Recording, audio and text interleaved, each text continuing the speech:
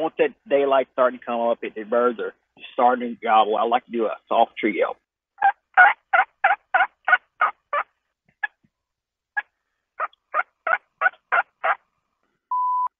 So once that bird's on the ground,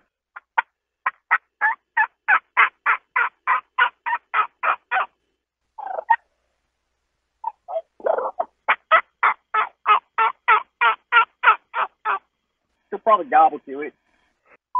Sometimes those birds that are just stubborn and hung up, I'll throw a gobbling at them just because I'll let them know that you know there's a hen there, and if you don't want to come to me, then there's another bird that's come to me.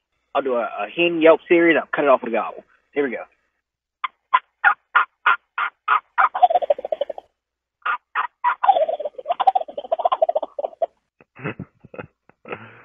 oh, dude, you're amazing.